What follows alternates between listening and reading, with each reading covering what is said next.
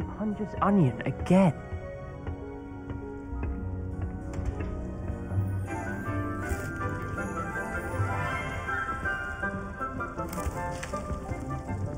Good morning, Professor Garlick. How wonderful it is to see you again, Lenora dear. Oh, here, you'll need these for today's class. um, uh, A little treat for your auntie.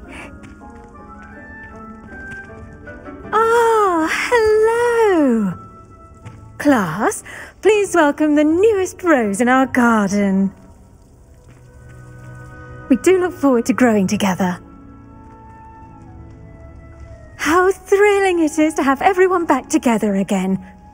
This year will be filled with enchantment and excitement, but the most important thing cultivated in herbology is knowledge.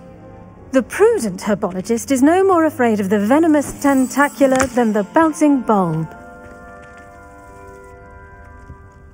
Now then, today we will be acquainting ourselves with the mellifluous tuber known as the mandrake root. Accio.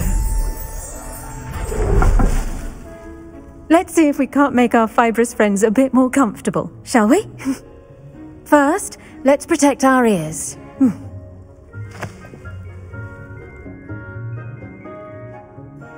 Now, everyone, grip their mandrake by the tendrils and give it a firm tug.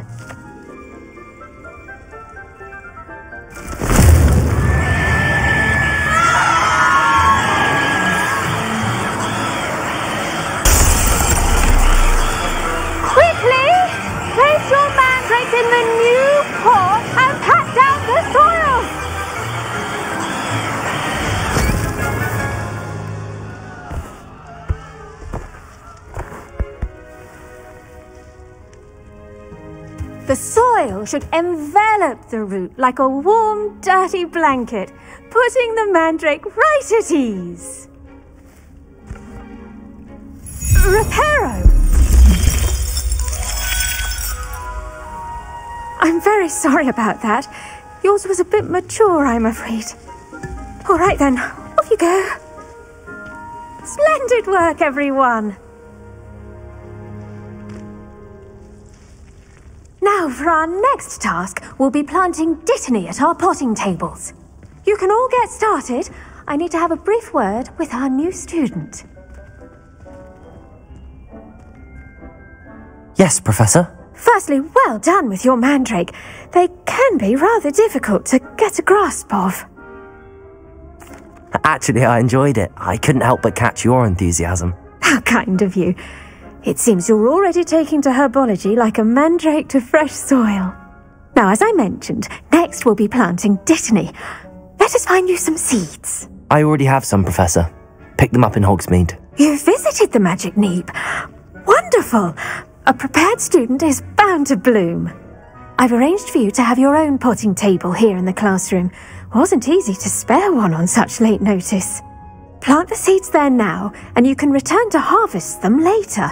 Even with soil, sunlight, and a bit of magic, they will take time to grow. Dittany's restorative properties make it a vital ingredient in the Wiggenweld potion, as you all should know from Professor Sharp's class. Pardon me, Professor. What am I supposed to do with the Dittany seeds? Your part in all this floral alchemy is simple. Take the seeds to your potting table, plant them, and then wait for harvest time.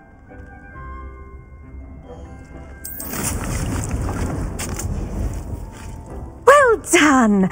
Once it can be harvested, your Dittany will be ready to use in Wiggenweld potion. I'll let Professor Sharp tell you about that. Now, what say we branch out? Introduce you to a different sort of flora, the Chinese chomping cabbage. You'll find that some plants are better suited to uses outside of a cauldron. The cabbages do get testy without something to chew. Fortunately, I have a dummy for them to gnaw on. Be a dear and let them have a good chomping. Yes, Professor. They're in the other greenhouse. It's just at the end of the footbridge leading out of this room. Your classmate, Mr. Prewett, has kindly offered to accompany you. Come back and see me when you're finished. Oh, and mind your fingers. They do bite. Hello. Saw you on your way to Hogsmeade the other day. Nice to meet you. I'm Leander. I'll be showing you the Chinese chomping cabbages. Up these stairs will take us there, but your lead. Nice work in Defense Against the Dark Arts, by the way.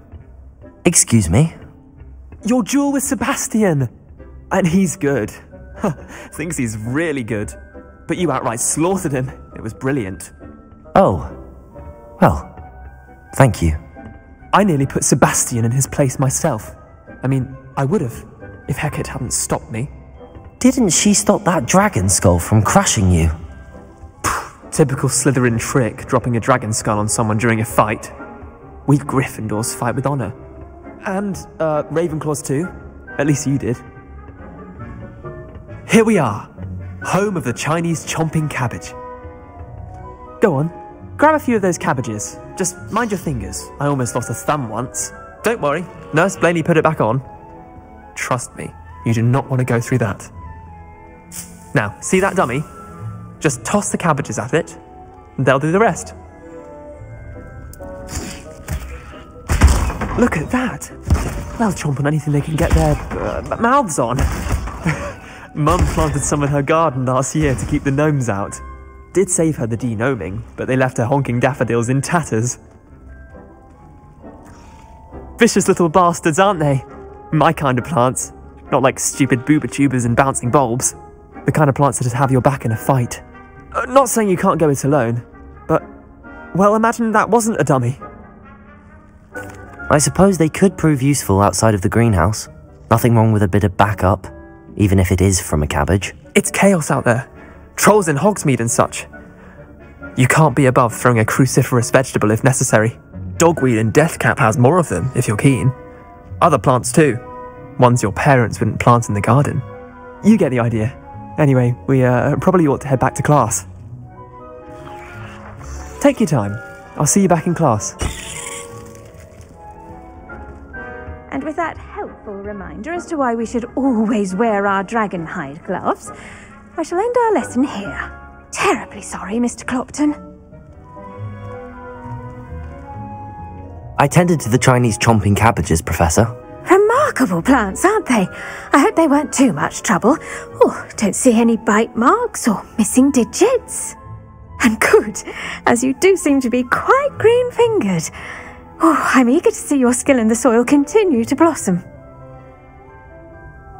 Magical plants have so much to offer. I'm eager to learn more. I'm glad. Herbology is a bounteous subject. Tend to your garden, and it will tend to you. Huh. Well, I suppose that's everything. Do come by for a chat sometime. I so enjoy checking in with my new students. The best time to plant a seed is last season. The second best time is now. Did you know that you can use the mandrake to defend yourself? Why, the very idea. I should think Professor Garlick would be more careful with her mandrakes. I do wonder about Professor Fig. He's hardly ever in his classroom. Most strange.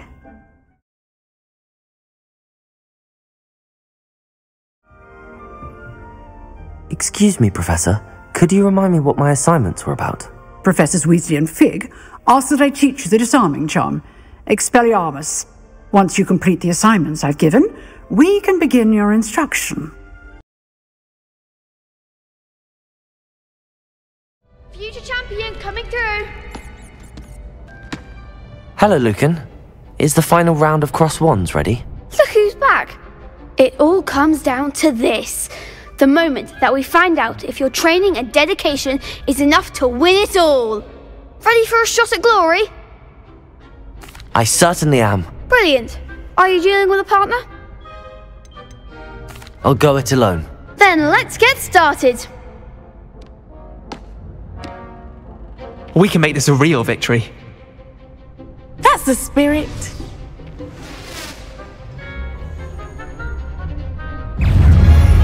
Accio! Protego! Stupefy! Oh, there goes my wager. Incendio! Incendio!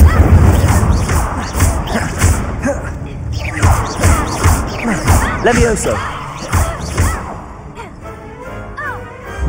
I could never duel like that.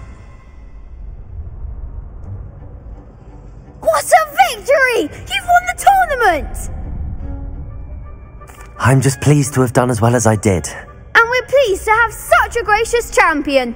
Now, to the victor goes the prize! And so it is my great honour to present you with this simple yet elegant token of supreme dueling accomplishment. Thank you. It's been an honor. You earned it. You are a duelist to be reckoned with. Now that we've definitively crowned the tournament winner, I suppose I should get back to my schoolwork. Wonder how my herbology plants are doing. I haven't tended them in ages. Yes. You can't be beat, can you? Lost to a new student? Hmm, I didn't see that coming. Shame it's over. I was just getting started. The best duelist won, I suppose.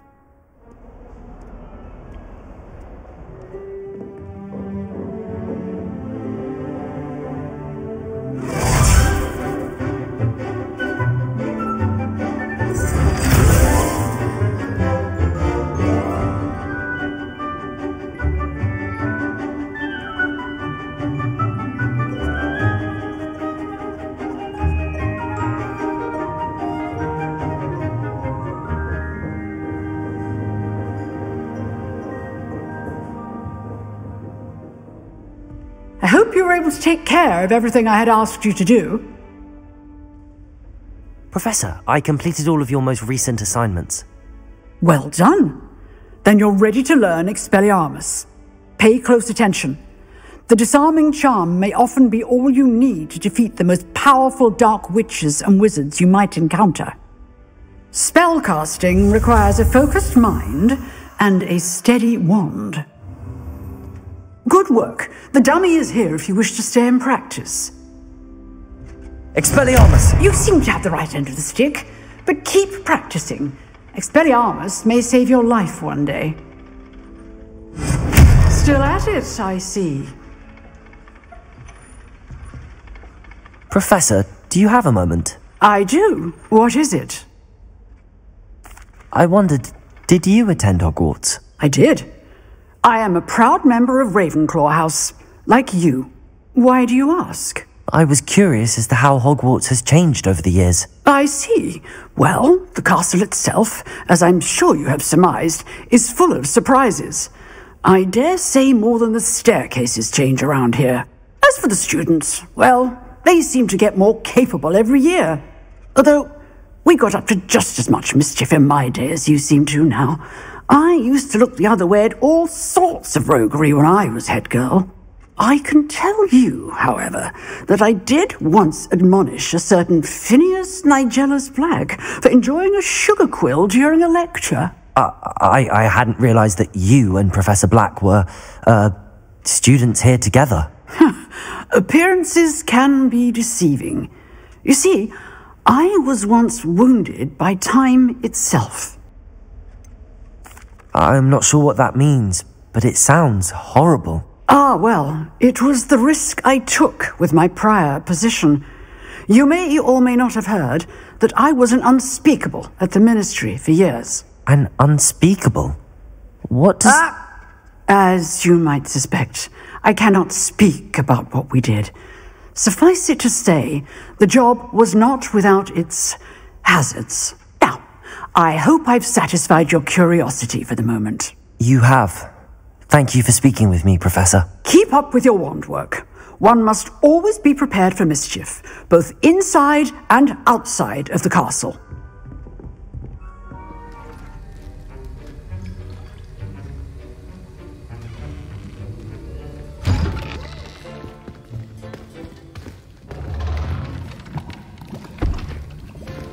Potions is one of the most challenging and hazardous subjects taught at this school. As fifth years, you will be required to reach new heights of both discipline and intellect. You will begin this term by brewing a Wiggenweld potion. Mr. Thakkar, can you tell us why this particular potion might come in handy? Yes, Professor Sharp. The Wiggenweld potion can be used to sterilize and even heal a variety of injuries. It can heal some injuries, but not all.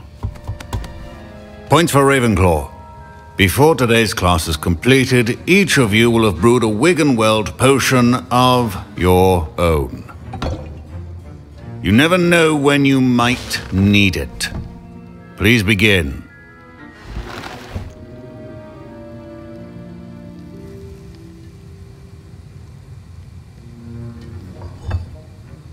Use a strong, even motion when crushing your ingredients. Please be meticulous when adding powder to your potions. One errant sneeze could be disastrous.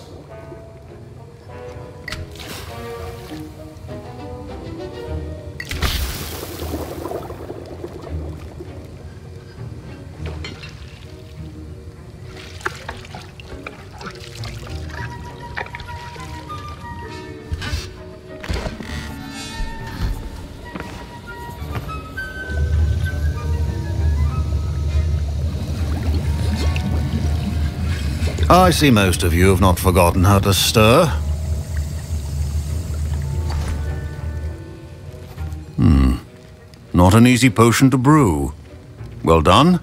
And from what I hear of your recent exploits in Hogsmeade, you'd also do well to practice brewing the defensive Edurus potion. Professor Weasley had you acquire the recipe from J. Pippin's, correct? Yes, sir. Good. For the moment, you can find the ingredients you need in my office. But in the future, you'll be expected to provide your own ingredients. Some can be harvested from the plants you grow in your herbology class, and rarer ones can be purchased. Others, however, may be harder to obtain and will require you to be a bit more resourceful. Come and see me when you've finished brewing, and we'll see if it was skill or luck the first time round. Proficiency in potions are two things that cannot be rushed. Have patience and be thorough. Don't fret if you run out of ingredients. I simply grow most of what I need. My Wiggenweld potion's utter rubbish. Wish I could just replace it with one from J. Pippin's. Professor Sharp said that Wiggenweld potion can treat injuries. Hope I never need it. My parents considered keeping me home from school this year after the rumors of a goblin rebellion. Professor Sharp must have learned a lot during his time as an Auror. I wish he talked about it more. I was impressed that you were able to answer Professor Sharp's question about the Wiggenweld potion. Oh, thank you. That means a lot coming from a fellow Ravenclaw. And I've never seen anyone brew such a flawless Wiggenweld potion on their first try. Well done. I'm glad I was able to get it right the first time. You must simply have a knack for potion making. Some students seem so confounded by potion recipes, it's as if they're written in gobbledygook. A fascinating language, by the way. Neither here nor there, really, but I am a self taught speaker. Merlin's beard, good conversation is the enemy of free time. I must return my book, Gateway to the Far Stars, before my next class. Speaking of stars, we'll be in astronomy together. You'll love it. Professor Shah is firm, but quite clever. See you soon, no doubt. Fine job brewing your first Wiggenweld potion. But there are many potions yet to learn. This is going to be a busy year. Did I hear Professor Sharp say that you have permission to go into his office? He did say that. He wants me to get more ingredients to brew another potion. Brilliant! You, my friend, have been presented with an extraordinary opportunity. I'm Gareth, by the way. Gareth Weasley. Bit of a prodigy with potions, if I do say so myself. Pleasure to meet you. Wait, are you related to Professor Weasley? She's my aunt. Keeps too close an eye on me for comfort. Ugh. But she can't be everywhere. Listen, anyone with a troll-sized brain can brew an Edurus potion. I'm working on something that's certain to be spectacular. I'm just missing one tiny last ingredient that will add that extra spark. I suspect that's where I come in. You're as clever as I'd hoped. I simply need a single Fwooper feather, as you'll already be in Sharp's office with his permission. Perhaps you could grab it for me.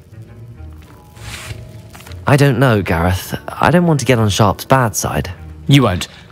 Fwooper feathers aren't that valuable. Sharp won't even miss it.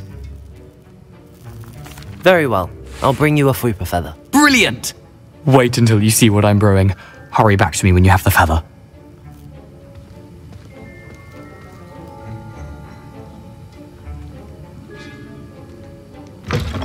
A well prepared witch or wizard always has a few potions on hand.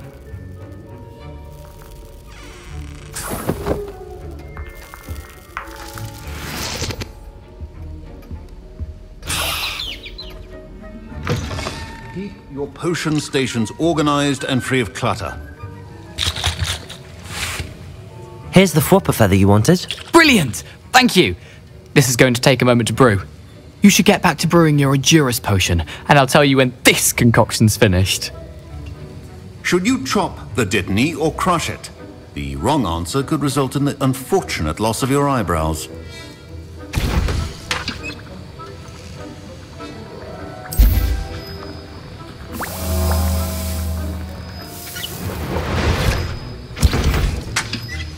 And now we add the Mallowsweet, and. That's odd. What's happening? Wait, it's not supposed to. Ah! Get it! Not again. Oh, the smell. Dragon dung! What happened? well done, Gareth. What now, Mr. Weasley? Sorry, Professor. That'll be points from Gryffindor. Again. Mr. Weasley did not do this on his own. His accomplice will answer to me as well.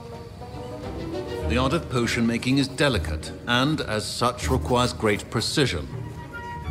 I brewed an Edurus potion as you asked, Professor. I'm surprised you had the time. You seemed rather busy helping Mr. Weasley brew chaos. I'm sorry, Professor. I was merely trying to help a friend. Taking responsibility for one's actions does go a long way with me. I shall assume that you've learnt a lesson. As for the work you did today at your own cauldron, I will say you've done well. I confess I was skeptical given the advanced nature of this class and the fact you're a new student. I'm glad I was able to meet your expectations. A rare occurrence. And you do well to remember that you're not a potions master quite yet. In addition to having a solid grasp of how to combine various ingredients, you should gain an understanding of the ingredients themselves. Pay particular attention in herbology. The plants you nurture there are often essential to the potions you brew here. Now, I recommend that you find a safe location in which to practice brewing. You cannot leave a hot cauldron simply anywhere. That'll be all. I think each of us has had enough excitement for one day. Class is dismissed. That was an interesting class. Thanks to you. Wasn't precisely what I had in mind, but it was still brilliant. I appreciate your help. I hope Sharp wasn't too disagreeable when you handed in your potion. Heard him talking about taking responsibility. Professor Sharp was annoyed, but we sorted it out. No harm. Cheers to that. He probably had a good chuckle after we left. Sharp may seem gruff, but I'd bet a few galleons he blew up a potion or two in his day. Best be off. Next time we talk, I promise, fewer explosions. Ugh, my robes are going to reek from The Gareth's food that appears in the inspiration for the isn't rest of conjured. term. The house elf.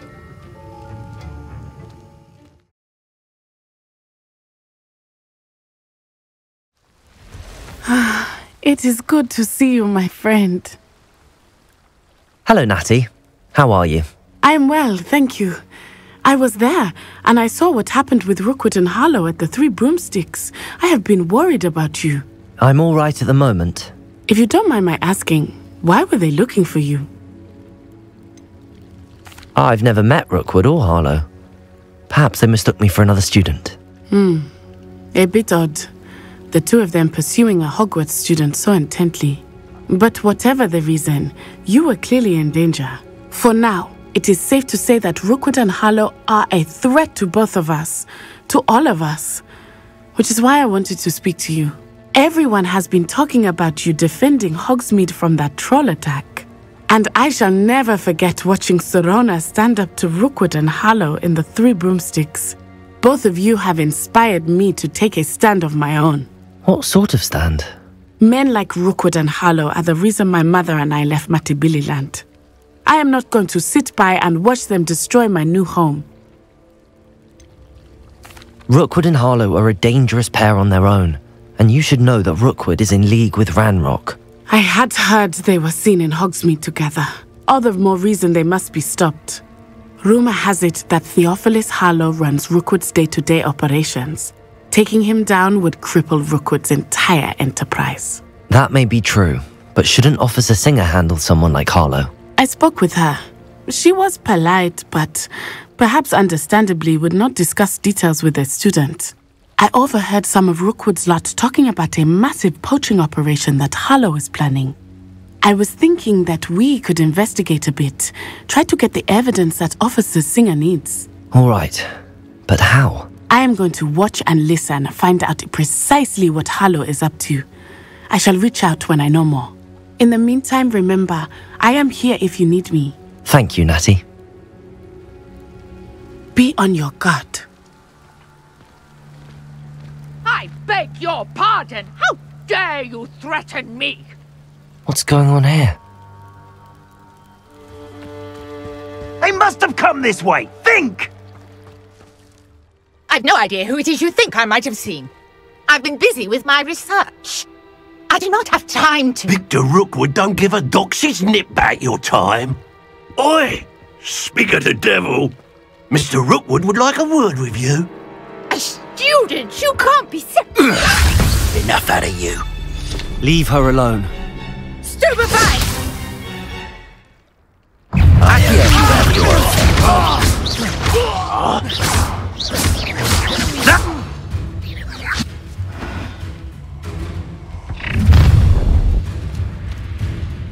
I'll watch the light go out of your eyes.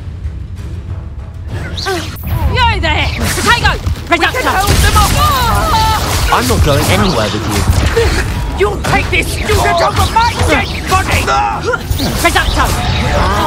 Accio! Ah. Expelliarmus! What on earth just happened? I've never been accosted in such a manner, and so close to Hogwarts. Are you all right? I am, thanks in no small part to your excellent defensive skills. Care to tell me why two Ashwinders were ready to dispatch me to get to you? Ashwinders? Victor Rookwood's thieves and extortionists, his little cronies. They seemed quite keen on you. It's a long story, but thank you for your help. Hmm. Well, you've avoided them for the moment. Priya warned me things were getting dangerous. Best get moving on my research before they return. You mentioned someone named Priya. Yes, my wife. She's the one who piqued my interest in Merlin, gave me a book when we were students at Hogwarts. Typical hard-working Hufflepuff, brilliant potioneer, has her own shop in Knockturn Alley. She's a travelling vendor, hears what's going on in the Highlands before I do. You're a researcher. Nora Treadwell at your service, historian and archaeologist specialising in Merlin's work and life. Merlin? Of the legend of King Arthur? The very same. Merlin attended Hogwarts, you know, and I'm studying some curious fixtures he left here centuries ago. Fixtures? These vine covered pillars, dozens of them all around the area. I've taken to calling them the Trials of Merlin. I believe he created them as a diversion for his fellow Slytherins. he was terribly fond of puzzles and enigmas. I can see why you're so interested in Merlin. I'd be keen to know more about the trials. Well, then, I'll let you in on a little secret. No one has yet managed to figure out how they work. But I believe I have just unlocked a crucial clue. I suspect that Mallowsweet is an important component in getting the trials to work. Mallowsweet? Versatile herb. Merlin repeatedly mentioned it in his writings. I had just arrived to test my theory when I was so rudely interrupted. You see, each swirl in Merlin's writing has its symbol in the centre. That started me thinking, what if... The Mallowsweet is meant to be placed at the centre of the symbols. Precisely. Would you care to do the honours? We can see what comes of our little hypothesis. I brought a trunk chock full of Mallowsweet with me. It's just over there by my tent. This trunk? Yes, take plenty, even if you already have some. I have the Mallowsweet. Lovely. Now, notice the vines on these pillars here, as well as a stone swell on the ground. Each trial has these features. Place the Mallowsweet on the swell, and we'll see what happens.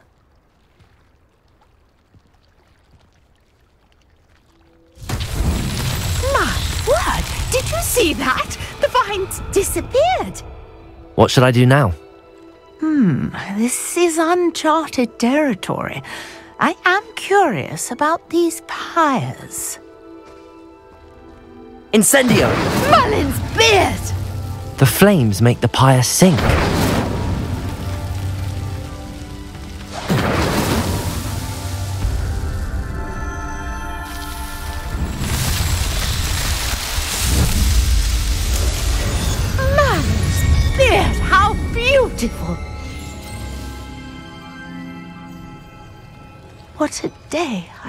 Hardly believe it. I take it we can call that a success? We can indeed. However, I now have even more questions. How does it work? I must review my notes. I may have missed something. Are all of the trials like this one? Hmm? Oh, not precisely. Well, I think each has those telltale vines and the swirl on the ground. You should feel free to solve them as you come across them. I believe I have what I need to continue my research. My guess is that each will also require Mallowsweet, which you can find in Hogsmeade should you need more. I really must be off. Such a pleasure to meet you. And do be careful out here. Now I've got what I needed, I shall return to the safety of my notes and books.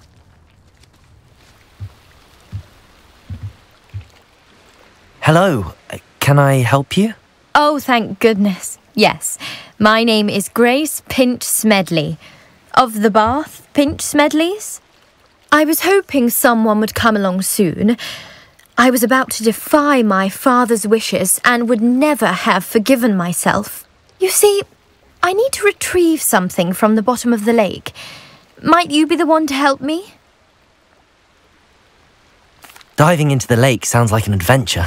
Tell me more. Splendid! Precisely the response I'd hoped for. What do you need help retrieving?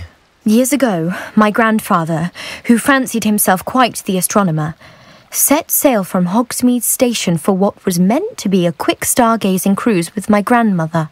They never returned. I'm so sorry. What happened to them? We can't be sure. We only know that neither they nor their boat made it back to shore. They were presumed drowned. Father was so distraught that he forbade our family from setting foot on or in the Black Lake ever again. A treasured family astrolabe vanished with them that night. If you could dive down and retrieve it, I may be able to bring my father some peace. What exactly is an astrolabe? It's an astonishing ancient navigational tool, essentially a handheld model of the universe. It's mainly used for studying the stars, astronomical pursuits, but it has nearly a thousand uses. Fascinating device. Sadly, I'd imagine it's rusted beyond repair now. Still, we'd love to have it returned to us. It would be like getting a bit of my grandparents back. You seem to think I might have heard of the Bath Pinch Smedleys. Why would I know your family? That's like asking why the sky is blue or grass is green. The Pinch Smedley name is synonymous with intellectual curiosity. We are known for our contributions to science and art. I'm surprised you haven't heard of us, frankly. But with all I plan to discover about the world around us, those that don't yet know the name certainly one day will. Hmm, it sounds dangerous, especially for something of mere sentimental value. I understand. But I'd be forever grateful. Of course, you may discover much more than the astrolabe. Anything else you found would be all yours. I've cross referenced the vessel's last alleged location against the lake's topography, depth charts, and tide schedule. My best guess is that it's just over there, about a furlong from the dock. It would be wonderful to have my grandfather's astrolabe back. I do hope you find the astrolabe. It would mean so much to our family. It sounds as if her astrolabe is just northeast of the dock. I should dive down and see. This must be where the Pinch Smedley family astrolabe is.